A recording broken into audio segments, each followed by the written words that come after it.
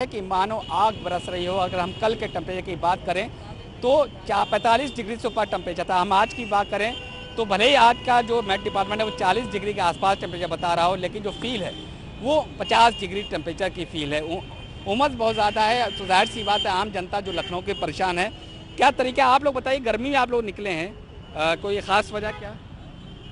Dance class जाते हैं। Dance class जाते हैं डांस तो कितनी गर्मी कैसे आप लोग बचाव कर रही हैं अपना? बचाओ बस यही है कर रहे हैं और कैसे करें?